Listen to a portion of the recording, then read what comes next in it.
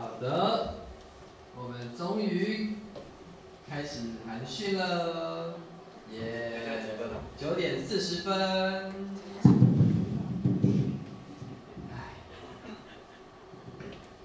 好，寒训第一节课呢，就是我来帮大家上上课，我们要讲的就是制片的东西，那就是暑假有上过的，不要嚣张，因为这是一模一样的东西。